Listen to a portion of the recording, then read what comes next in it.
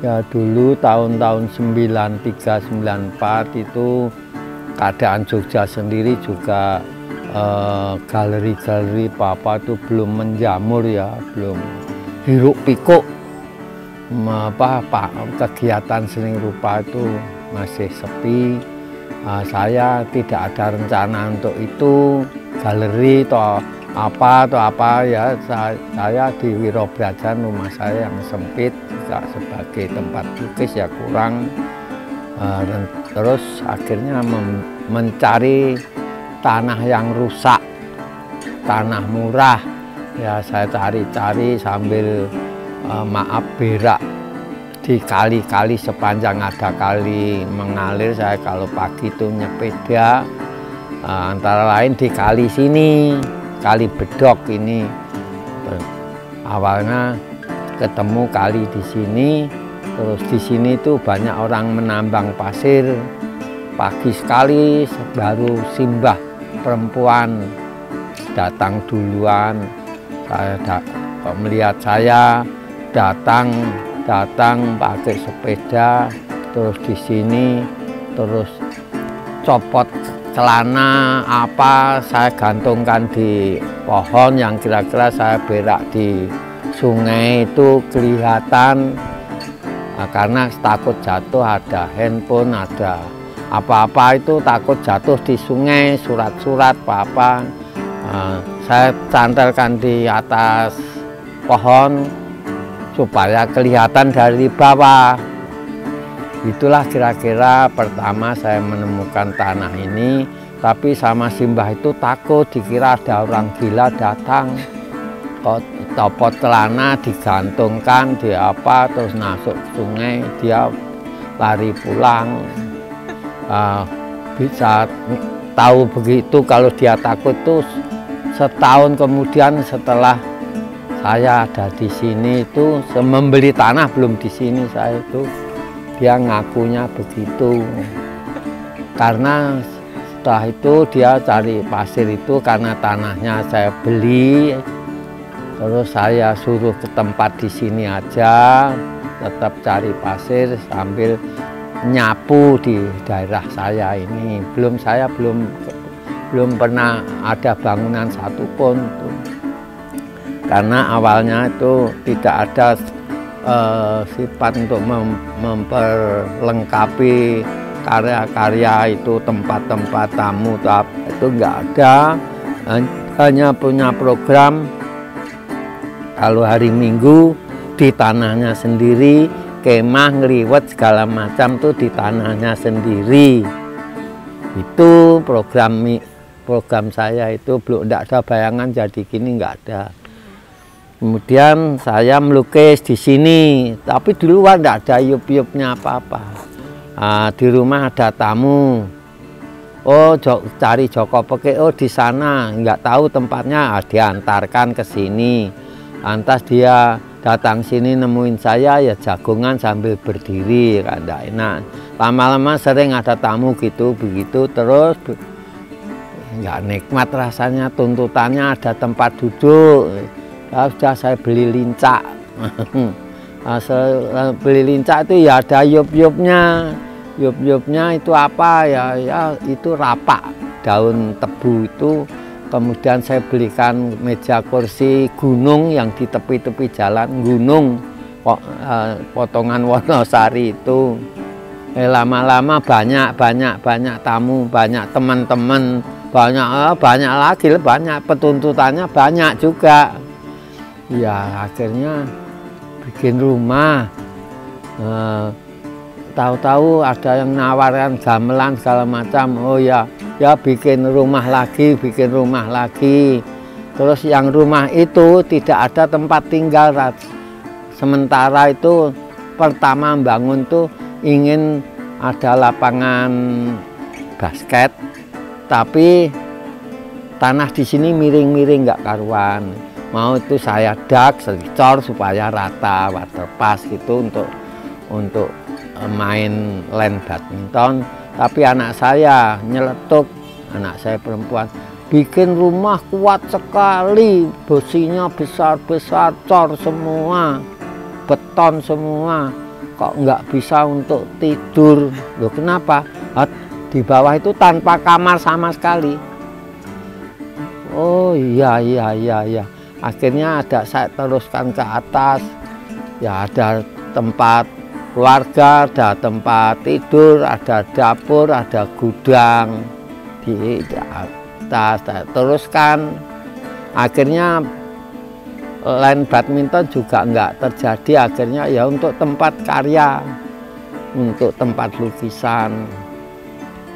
Itulah kira-kira sama gamelan itu karena cita-cita saya itu pun ingin punya gamelan ditawarin orang ya saya beli saya bikin dua studio ini studio gamelan eh, Jogja ini studio gamelan Solo gitu loh.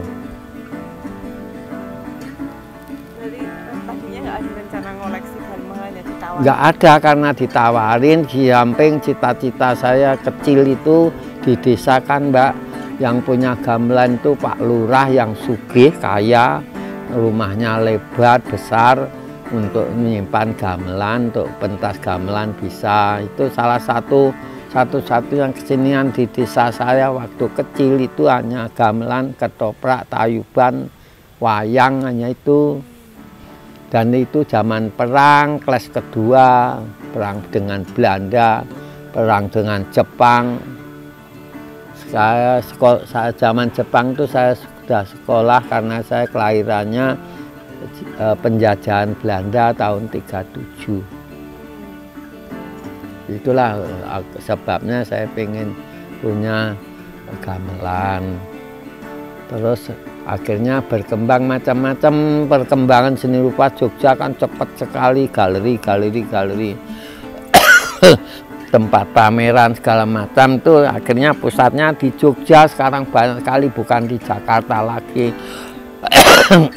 Kalau di Jakarta kalau nggak pasar pameran besar sekali nggak akan kelihatan. Kalau pameran kecil-kecilan kan ya pameran jualan saja seperti di toko-toko aja. Kalau Jogja ini untuk itu bertingkat sebagai galeri galeri di Jogja ini sudah tidak terbatas gedung mewah gedung bisa besar dan sebagainya uh, galeri di Jogja itu sekarang tumbuh di mana-mana sampai ke kampung, sawah, hutan, pusat kota banyak sekali. Tidak terbatas ini wangun atau tidak untuk galeri. Tapi umumnya Jogja ini yang seperti saya katakan galeri banyak itu hanya di sisi selatan. Galeri banyak menjamur di Jogja perkembangannya setelah itu uh, akhirnya perkembangan tuh kok juga um, ter, apa terpengaruh juga perkembangan kota Yogyakarta jadi kota Yogyakarta yang ke timur sama ke utara itu sangat-sangat ramai bangunan-bangunan sangat bagus-bagus uh, besar-besar dan itu tempat orang-orang usaha tempat orang-orang dari luar Jogja bertempat tinggal di Jogja. Tempatnya itu ke utara ke timur itu enak lereng merapi dingin dan sebagainya uh, untuk tempat seniman kayak kayak gitu tempat orang-orang kaya apa itu kok nggak nyaman nampaknya seniman-seniman itu kurang dekat dengan manusia manusia yang masih membumi. Jadi tidak ada ekspresi untuk perasaan para seniman itu. Jadi yang ada itu karena ke selatan dan ke barat itu tidak tempatnya orang-orang kaya orang-orang dari luar Jogja itu masih Jogja asli lah itu. Tradisi-tradisi asli itu masih masih banyak di sebelah selatan dan ke barat.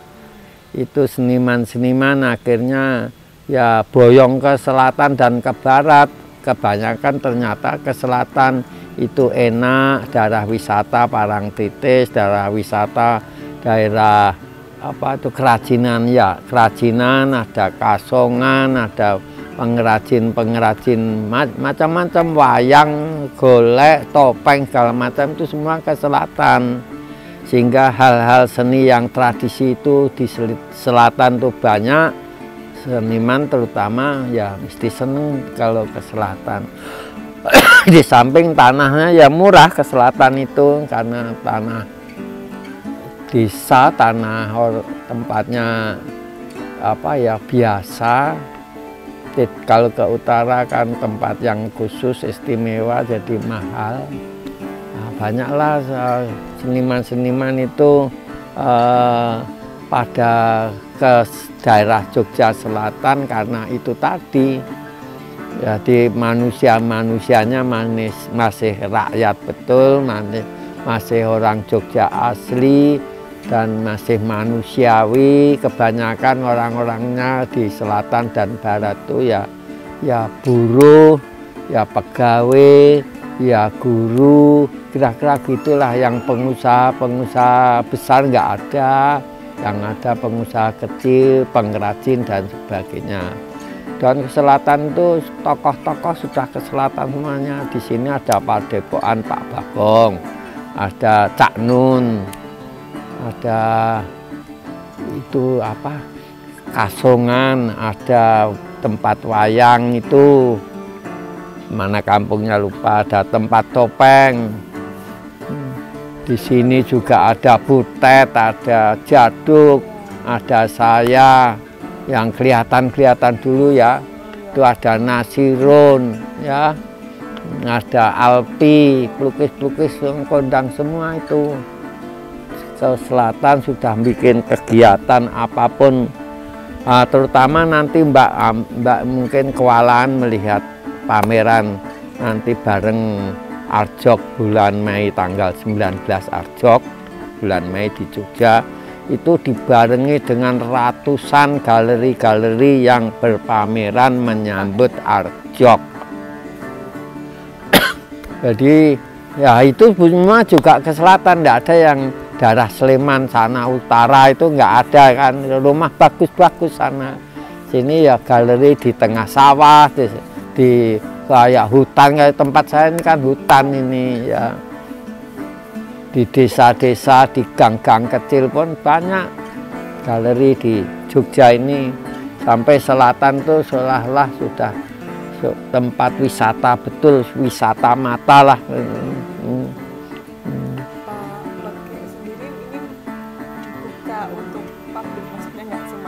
Apa?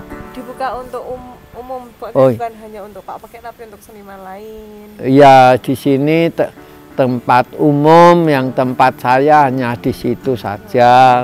Tempat saya pribadi. Ini tanah luasnya tiga hektar. Dari depan sana sampai ke belakang dibatasi sungai Bedok dan sungai Konteng. Di depan itu ada bangunan untuk tempat pameran. Kapan-kapan ada mau pameran di depan sana. Uh, di belakang juga ada di situ juga bisa gamelan diringkes untuk pameran bisa. Kalau Pak gamelan sendiri ada yang main, main? Uh, gamelan sendiri itu uh, uh, sudah berhenti setahun ini karena saya capek.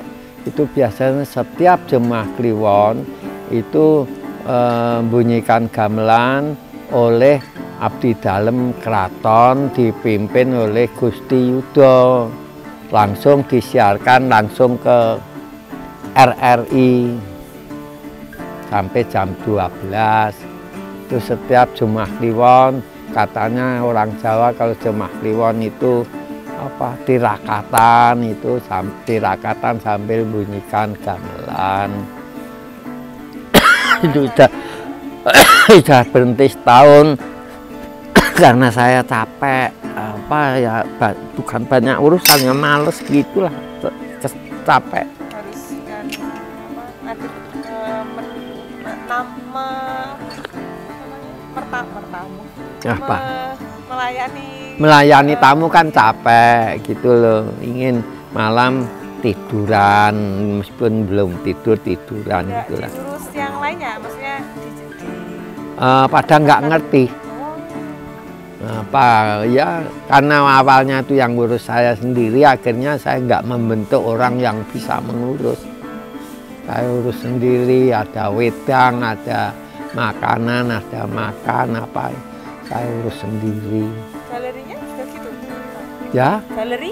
Galerinya juga diurus Pak. oh enggak kalau galeri anak-anak saya maksud saya itu biar untuk pekerjaan anak-anak saya malah tidak tahu.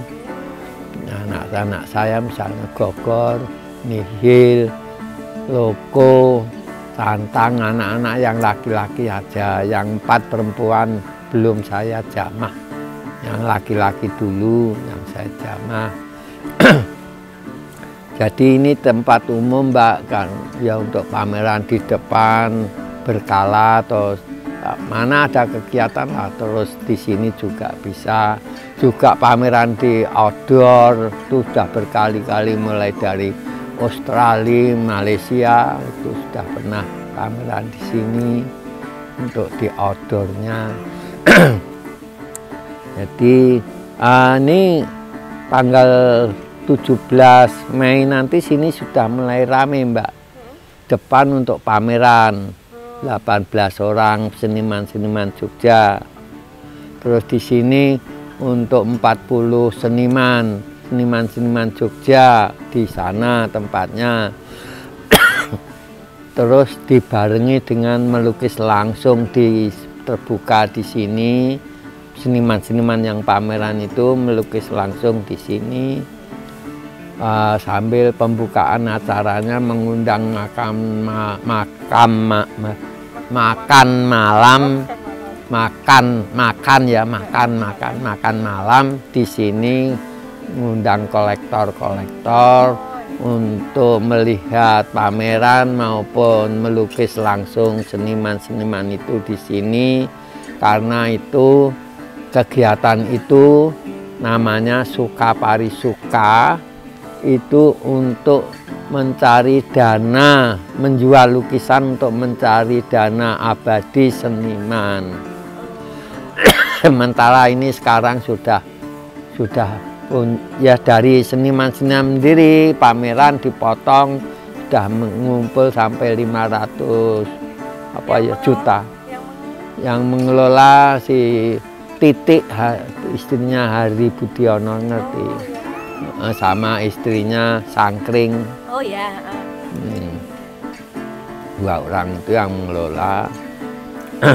Jadi itu dimasukkan bank bunganya berapa? Bunganya untuk membantu seniman-seniman yang butuhkan. Entah sakit entah apa entah anaknya sekolah misalnya. Itu.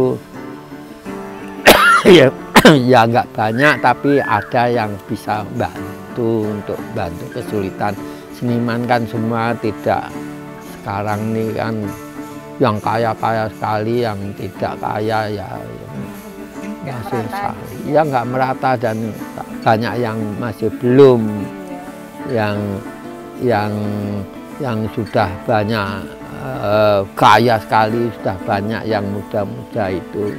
Tapi yang muda-muda belum punya nasib baik kan banyak juga gitu pameran yang dari Australia, dari mana-mana itu yang mengelola sini Bu- atau anu bukan ditunjuk dari sana mau pameran di sini mau pameran di sini. Oh boleh gitu aja. Kegiatan sendiri rupa kegiatan pentas-pentas apa ya silahkan. Ada tem pentas musik di sana maupun di sini. ya, dulu Ah, ya. jazz juga itu di sana. Kalau musik besar di sana di sana. Kalau kecil-kecilan ya cukup di sini. Orang ulang tahun cukup di sini.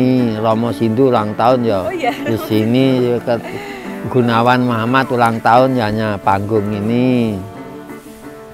Kalau anu warga setempat kampung gitu Pak menggunakan Eh, kalau warga setempat tuh belum banyak ya karena di sini sifatnya kesenian. Keseniannya orang kampung belum ada kan kegiatan sini sifatnya kesenian. Kalau mantan kan tidak wangun di sini itu kalau ulang tahun rame-rame itu ya untuk terbatas teman-teman sendiri. Yang dikenal ya. yang dikenal dan betulan ya juga tidak sembarangan orangnya gitulah. Termasuk yang para tokoh misalnya boleh untuk kegiatan anak sekolah obon untuk anak-anak TK atau SD di sini jalan-jalan bikin acara ada kolam renangnya kalau galunya itu belum lama mbak ya baru, baru tahun sejak ada binale keramik Oh ya. eh. eh, eh, 2015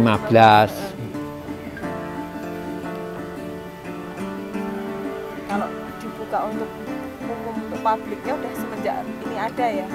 ya sudah lama mbak. Sudah sudah banyak orang eh, terheran-heran kok ada tanah luas ada apa ada apa gitu. Yang mikir untuk kegiatan apa gitu lah mau bikin kegiatan apa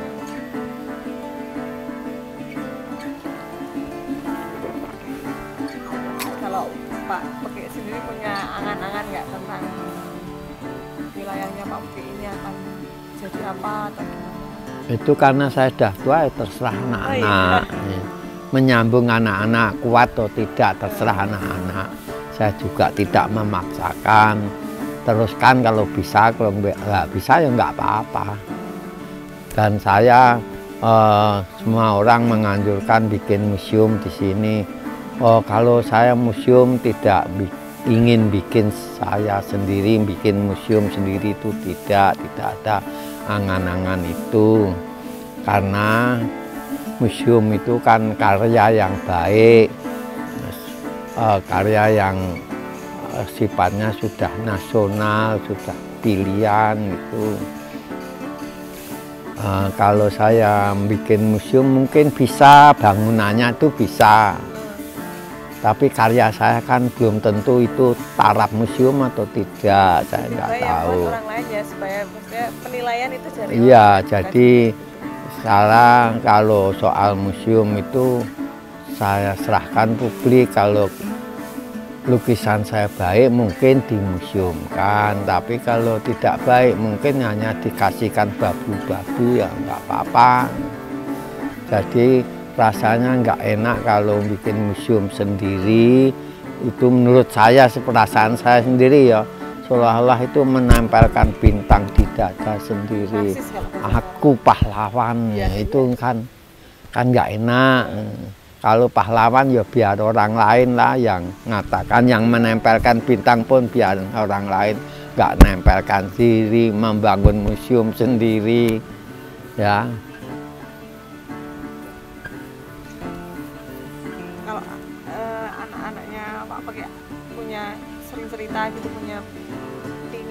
apa sama pelataran enggak?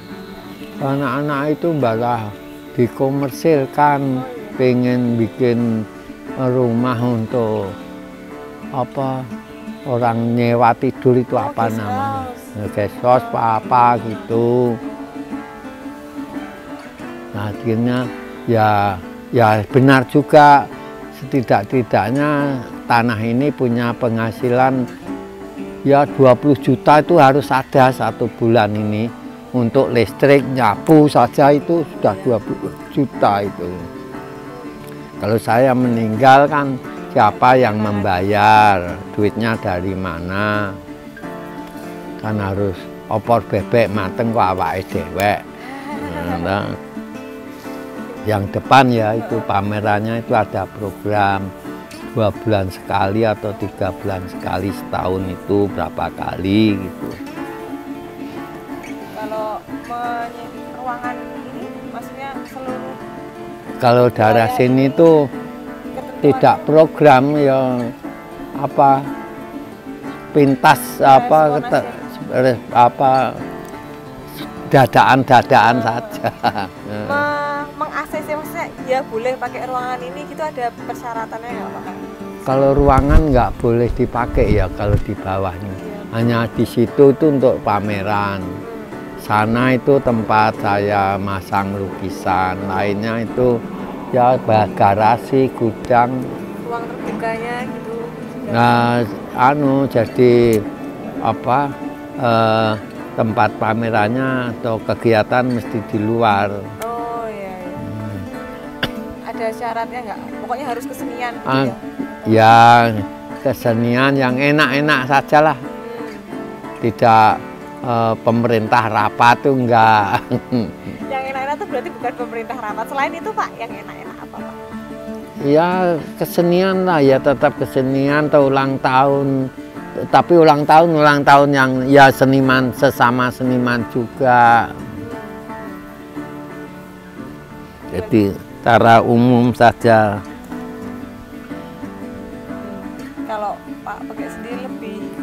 kegiatan yang sifatnya seni tradisi atau? Eh, kalau saya seni tradisi yang paling suka. Sering saya nanggap pengamen saya bawa sini. Oh iya. Hmm, saya gambar.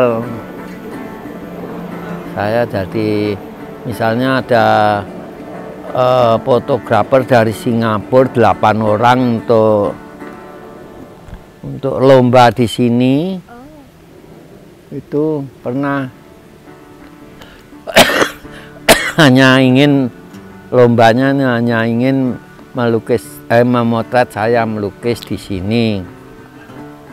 Ah, untuk itu saya tanggapkan eh, ledek guge di sini. Jadi bisa motret saya melukis bisa motret pengamen tradisi Indonesia. Mereka kan belum tahu. Nah itu delapan orang itu masuk sini aja nggak boleh semua hanya delapan itu diberhentikan di rumah depan. Di karantina sana.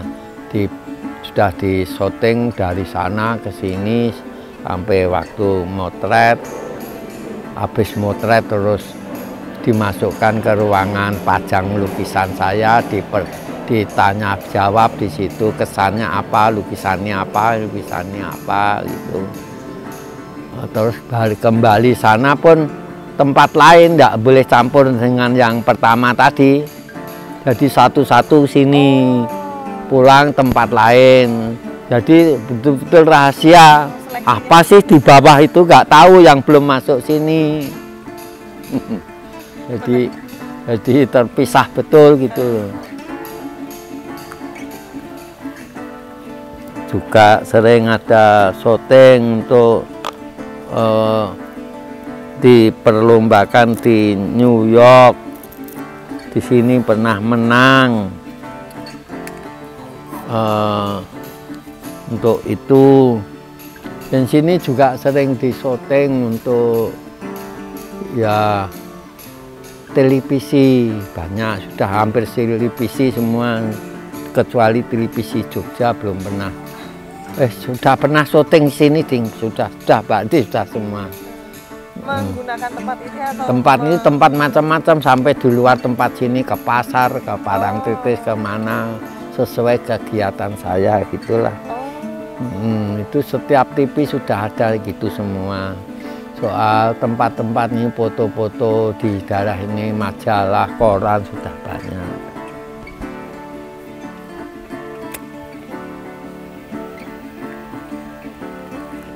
Jadi saya ini enggak secara sengaja sudah banyak terpublikasikan. eh, iya, iya.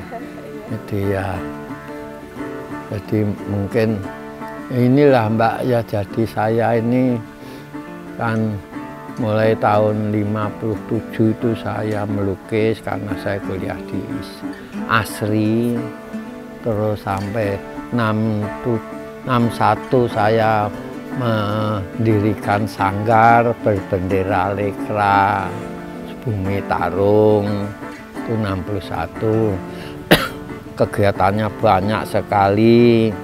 Waktu itu kegiatan eh, antara partai sama partai itu kan memuncak. Sampai tahun 65 itu sangat memuncak. Akhirnya meletus jadi peristiwa 65 itu ya karena sanggar kami itu lekra. Sudah dihabisin semua. Jadi dari kira-kira 30 orang itu ada semua itu anggotanya mahasiswa ya. asri asri masih asri. Istri itu sekarang tinggal berapa ya? Tujuh atau berapa? Semua itu banyak dibunuh saat itu. Banyak mati di tahanan di Pulau Burung. Nah, saya ini juga masuk tahanan juga masuk saya itu 65 bulan November masuk ditahan di Beteng Yogyakarta.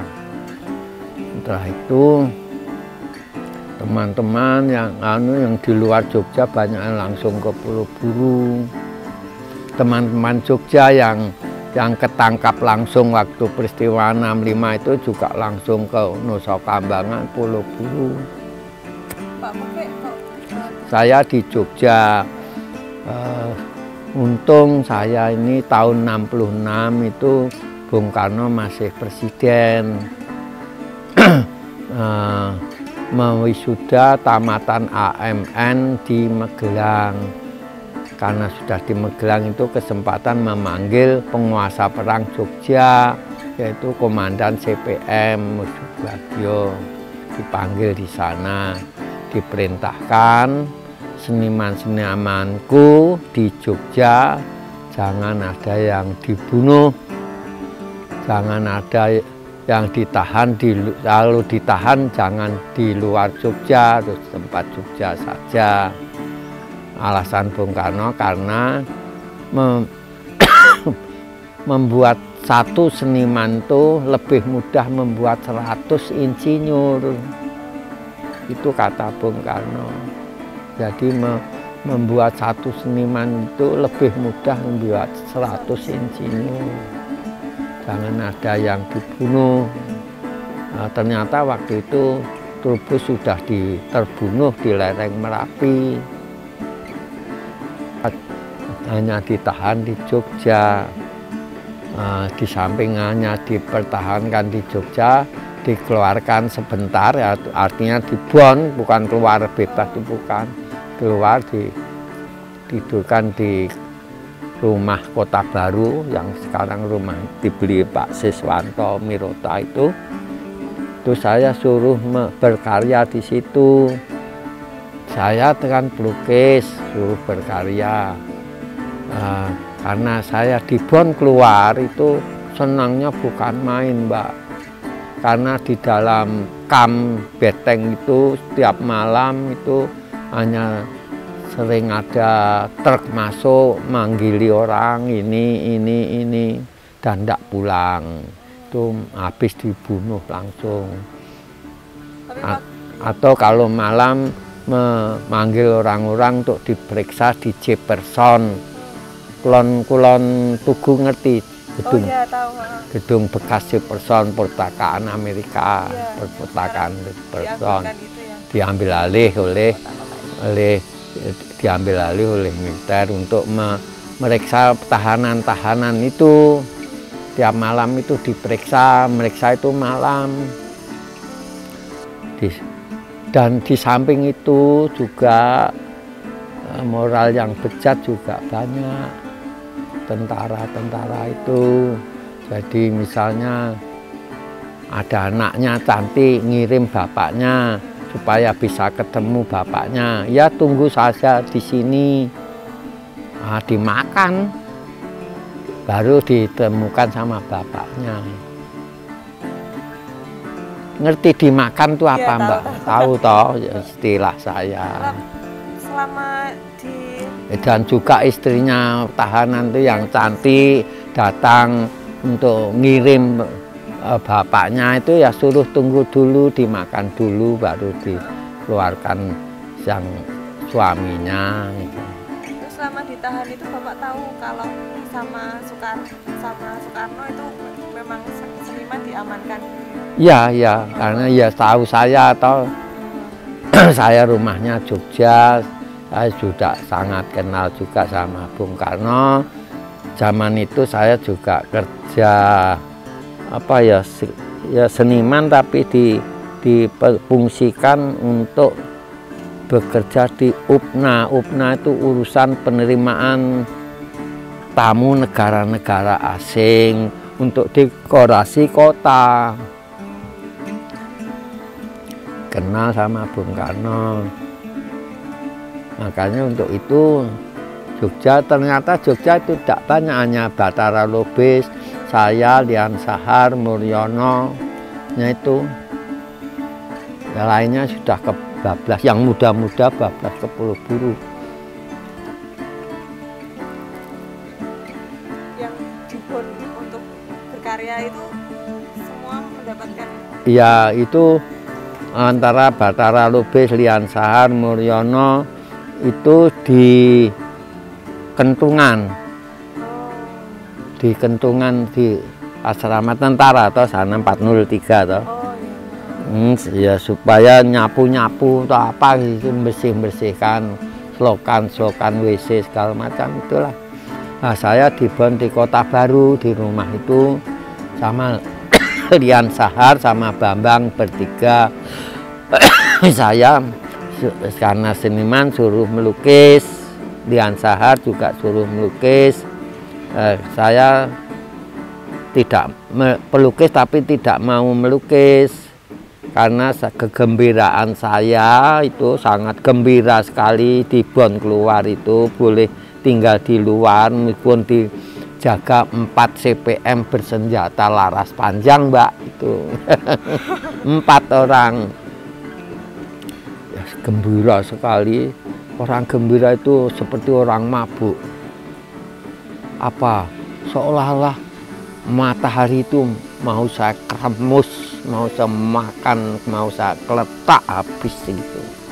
Jadi kalau saya melukis enggak, kalau melukis kan di- dipasang di dalam rumah. Saya ingin mematung saja dan adab adabnya patung tuh kira-kira jam setengah eh, jam 3 sore itu matahari di barat itu seakan sepanah Nah, terjadilah patung memanah itu. Eh, gembira saya itu, ah, matahari pun bisa saya kremus, saya panah habis gembira. Orang mabuk juga gitu, seolah mau nabrak truk pun truknya yang kalah. Eh, Gitu kira-kira. Itulah sumber eh, awalnya saya mematung memanah matahari di kota baru itu ada sekarang orang-orangnya juga itu kan. iya Tapi kalau cemeti kegiatan seni rupa, kalau ini kegiatan pinyu-pinyu ini atau sebenarnya lebih ke pengarsipan jadi kami mengumpulkan semua dokumen dokumennya Pak Peki Iya. semua karyanya terus Hmm. artikel-artikelnya tentang Pak Peki Iya. Pusat museumnya seniman-seniman, karya Ya, seniman. informasinya sih Ya, pusat museumnya gitu aja. Lalu saya ini juga in- apa namanya kota Jogja juga, Bantul juga apa dokumen apa, apa tuh? Alah, saya nggak mudeng. Pemerintah itu eh, pusat informasi apa dokumentasi dokumentasi seniman-seniman Oh, iya. ada ya seperti ini. Punya dinas kebudayaan atau? Bukan bukan dinas kebudayaan ya itu lembaga sendiri. Oh iya? Mm, tapi punyanya pemerintah ya? Pemerintah mbak kabupaten ya punya Bantul ya anu apa Jogja ya punya. Namanya kantor apa ya? Itu loh antara lain tuh dekat polisi eh, lalu lin eh pus, apa polisi Kulon Stasiun Tugu itu. Polisi itu Kulon Stasiun Tugu tempatnya itu ada. Ah saya nggak mudeng punya pemerintah lembaga ini. Ah, kalau punya penghargaan atau punya cerita koran-koran saya yang kapan pun di am, anu di fotokopi itu koran-koran Oh, iya, perkembang perjalanan saya juga di fotokopi ayo jangan ojo oh tapi ngan seniman Jogja semua gitu Pak? Ya Jogja. Yang wilayahnya. Oh perwilayahan Iya. Semua gitu. Bantul anu eh, Bantul ada sendiri wilayahnya saya. oh Kalau pajak saya masuk Bantul. Bantul itu lebih murah ketimbang eh, eh, kota Madya. Soalnya kalau kota itu berapa anu gitu lebih le, lebih rendah sini itu. Bayar pajaknya itu lebih rendah. Karena darahnya aja darah Bantul ya.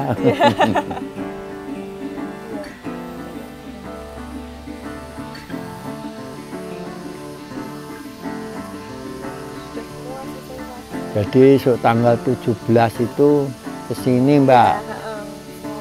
Tu- 17 19 itu di ke sini. Eh 17 18 di sini. 19 kan sudah digagai Arjok. Oh iya. Tanggal 20 sudah digagai acara 20 tahun eh ya 20 tahun Museum Dr. Ongcin Oh. Magelang.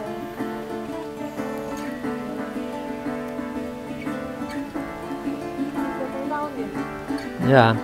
mm, 96 Mbak ya, 97. Yang tanggal 18 itu melukis bersama. Di sini Oh, iya. pembukaan mulai tengah hari makan siang, Oh. motong dua kambing, nyate, Tengah hari berarti jam makan siang. jam makan 12 siang ya? Ya. Karena undangan makan siang, makan siang 17-nya pembukaan di galerinya. sana iya. di malam pembukaan sana, pagi di sini rame-rame. Kalau sana yang buka Dokter Melani dari Jakarta. kenal tuh Hmm, itu yang sangat sayang sama seniman-seniman itu ngopeni seniman-seniman itu dia bukan kolektor tapi punya lukisan banyak dikasih pelukis-pelukis Iya, bener. Hmm.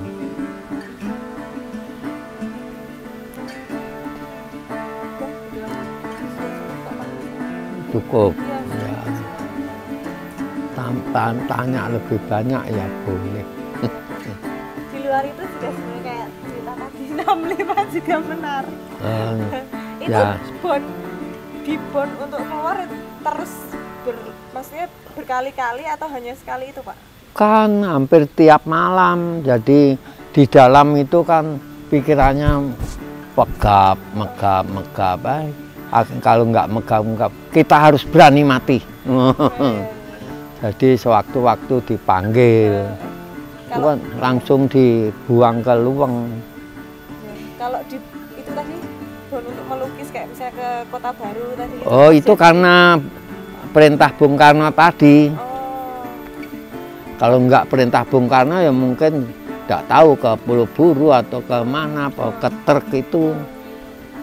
Tapi setelah itu di kota baru terus berarti ya pak? Enggak, Enggak. balik lagi ke setelah selesai bekerja ya kembali Oh, lagi. gitu. Sempat tujuh tahun baru bebas saya.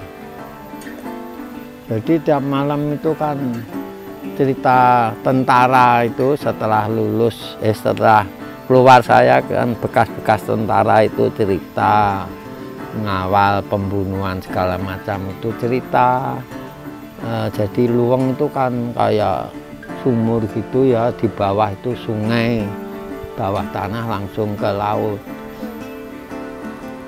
Eh, malam itu pagi fajar menjelang fajar itu bawa sana satu truk atau dua truk atau berapa gitulah. Ya itu di sana disuruh senam pagi masuk akal. Di senam terus belajar eh, ketangkasan eh, bisa megang temannya dengan mata tertutup. Baris mata tertutup suruh lari. Bisa lari nggak dengan mata tertutup? Lari semuanya. Lari langsung masuk masuk masuk masuk masuk semua lah. Masuknya itu dengan lari. Jadi kayak gini sumur ini lari eh, eh, terus. Langsung langsung meninggal dalam sekali itu sampai itu kan monumen itu Luweng Wonosari itu. Dan saya sampai melukis uh, pembunuhan massal itu di Kali Berantas, Bengawan Solo, dan Luweng itu itu kuburan besar untuk korban orang-orang PKI. Ceritanya tentara-tentara. Dari tentara-tentara itu kan saya sendiri di dalam, Mbak, kan tidak tahu. Kok tentara itu mau bercerita gimana, Pak? Ya kalau sudah pensiun oh, sudah be bebas. Nah, sekarang rame mau penelitian-penelitian. Tentara-tentara yang anu sudah pada mati satu yang pokok tahu itu lurah Pak Lurah Pak Dukuh zaman itu yang tahu kan lurah sama Dukuh sekarang pun sudah habis mati semua ya susah itu Mbak itu cerita yang kemarin yang tidak perlu diceritakan lagi karena itu cerita yang mengerikan.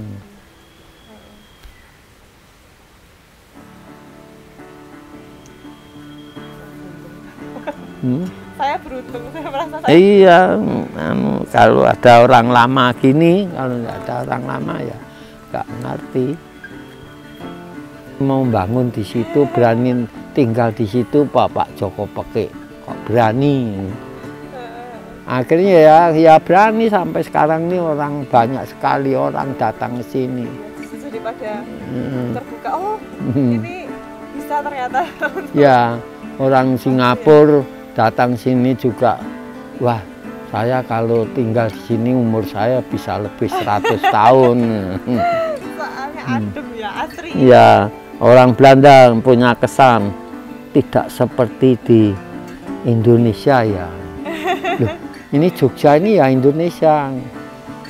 Bukan rasanya seperti di Nirwana. hmm. Tidak di Indonesia. Dari utara, Pak. Oh panas oh, sekali ya dari tengah kota. Sini kayak wah oasis. Enggak mbak, enggak usah dari utara atau kota. Dari jalan aspal itu oh, iya, panas sekali masuk langsung ya, beda toh. Gitu ya. Langsung beda. Jadi jalan aspal masuk gitu. Jembatan kecil di sana itu ke sana panas sekali sudah. Wah, pagi sebelah sana tuh banyak perumahan ya, Pak ya? Ya. Jadi apa ya sekarang mudah banjir nih Jogja ini karena rumah banyak sudah semen tok. Nah, kalau hujan kan jalan-jalan ring road apa itu banjir semua itu. Nah, sungai ini belah utara bak hujan itu langsung sini naik mudah banjir sekarang. Itu olah manusia semua sudah akhirnya juga dinikmati oleh manusia juga tidak enaknya. Jadi pernah kebanjiran Pak? Ya pernah naik sampai ke kerikil-kerikil ini. Nah, di sini semua orang masuk sini sambat, ngantuk segala macam. adem soalnya. Ya adem, masuk sini kok adem katanya. Ya itu dan anu itu yang menyebabkan tuh dukunnya saya bilang. Di sini ada lagi seniman itu yang dari Sumatera Barat namanya Tepanus Sapa. Oh iya. Ada di sini. Uh, taring padi juga ada di kampung sini. Oh iya.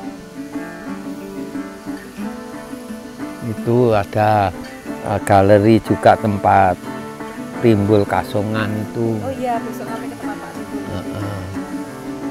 Mas ya? Ya di sana ada apa ya?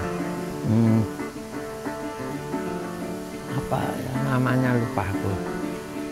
Nala Rupa. Nala Rupa. Oh, iya, oh, punyanya Mas Dedi, Pak hmm. Dedi. Dedi itu juga pelukis. Ya, uh, pelukis. pelukis. Hmm. Nala Rupa sana ada apa perahu oh iya perahu, di desa sana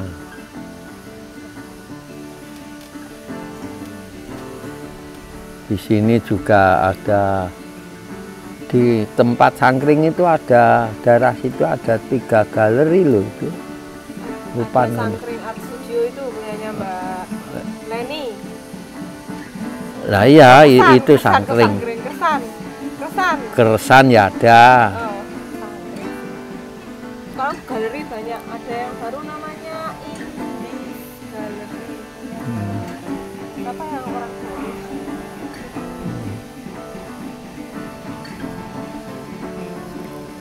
Iya banyak sekali yang punyanya seniman. Hmm. Justru menarik karena Jogja itu ruangnya banyak dibuat seniman bukan? ya digagahi seniman Eh, eh. Ini, betul-betul festival.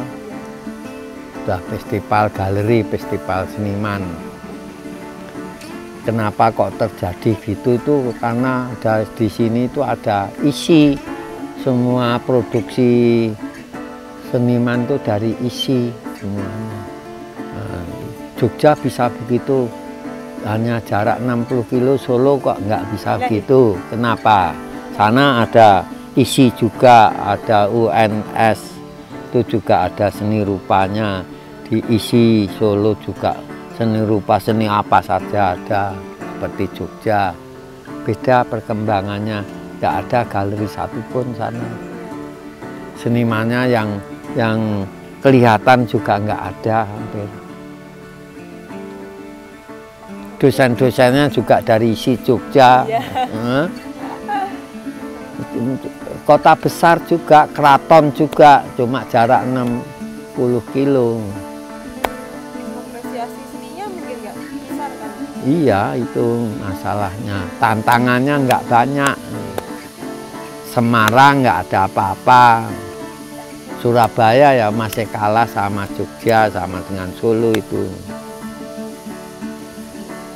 Jogja ini kita syukuri bisa bisa hebat tapi Jogja seniman yang kesohor pun bukan asli Jogja loh mbak. Cari asli Jogja siapa? Hah? ada nggak siapa? Pelukis sastrawan atau apa? Kan ada pun sedikit sekali. Hah? itu orang dari da- pendatang semua. Saya ini juga dari Purwodadi Grobogan Oh iya bukan asli Jogja Oh, saya. saya Jogja. Purwodadi Grobogan saya ini Kalau dari desa Butet? Nah, Butet asli Butet Jaduk itu saja ya. Hmm. Kalau seperti Soimah itu juga orang dari Pati itu Oh iya. iya. Hmm. Nah, tanggal 23 datang Mbak di di di Karangkretak tempatnya Romo Sindunata. Heeh. Ya. Tepen, nah, datang sana. Heeh.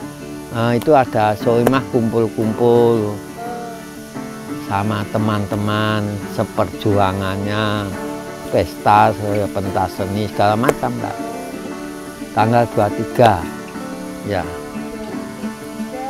bulan ini. Ya, ya besok ini tinggal dua hari.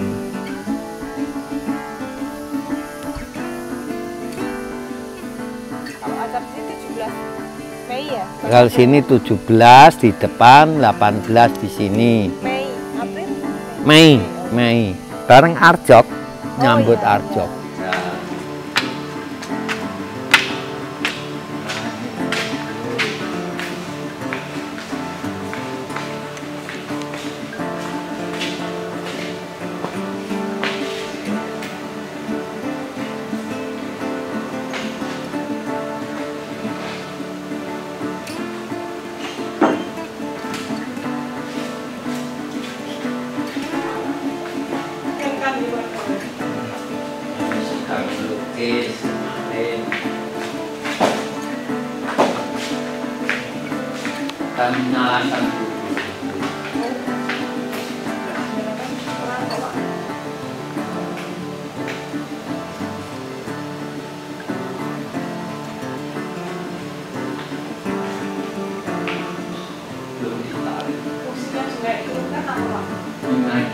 Nah, kalau di, ini tingginya Gambar. 3 meter, ini 2, 2 meter. Kalau kita melukis 3 meter kan pakai tangga. Oh, iya, iya, iya. Kalau pakai tangga, kontrol nyawang kan nggak bisa.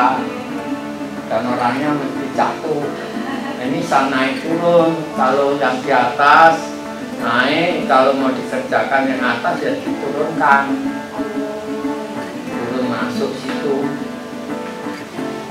turun bablas sampai hilang.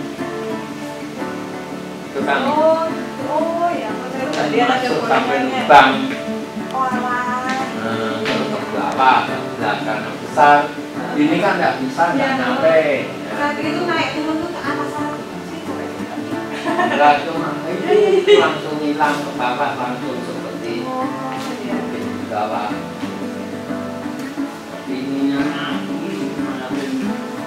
bapak punya asisten kalau punya Pak kan nggak ada.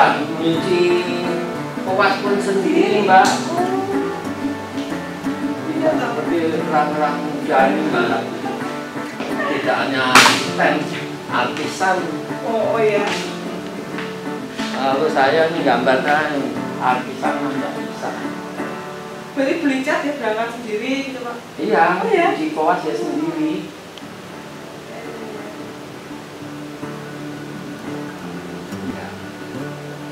Sekarang ini kan celeng-celeng takut dan di penjara. Celeng-celeng takut. Jadi dulu melukis 6 96 itu saya melukis Raja Celeng 98 melukis berbulu celeng 99 melukis matinya celeng terus itu tahun apa ya tahun 2000 itu tel, sudah celeng mati tahun 2019 tahun 2000 itu melukis celeng kawin. Jadi celeng mati itu dikawini bukan nah, kalau kawin kan punya anak banyak. Nah, anaknya itu ini sekarang ini banyak kali makan eh KTP pun juga banyak. Ya toh itu leng ci leng B leng siji akhirnya celeng kabeh tidak boleh mati karena itu sudah isinya dunia ya. Ada hukum isi dunia ada siang ada malam sama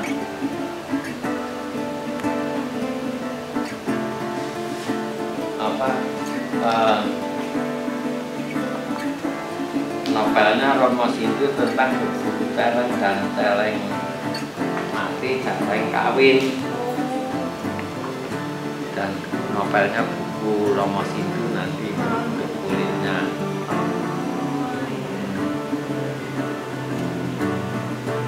lengki lengbe mangan KTP berarti ide eh, ide bukunya Romo Sindu juga ser- serupa sama jadi? Romo Sindu menulis itu karena saat lukisan saya. Oh gitu. Sumbernya dari saya. Karena menata tulisannya. Saya tema-temanya. Itu jadi Romo Sindu bisa nulis itu karena ada lukisan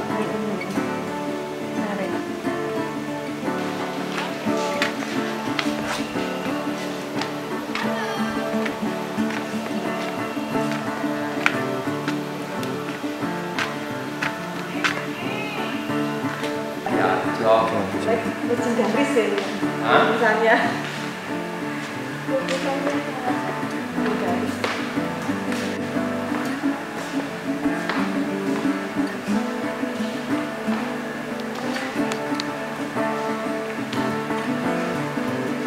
Di bawah tanah ini lembab ya pak? apa Lembab ya? lembab makanya asik sama saya sedot keluar ada empat prospeknya dan kipas angin supaya angin ini nggak berhenti saya timbul terus dan disedot keluar. Tidak pakai AC ini rata-rata 70 eh, kelembapannya Oh, eh, kalau di sini tapi kalau kelembapan umum di sini itu 90 mbak sini lebih lembab karena pohon kali air banyak air. Lebih lembab lagi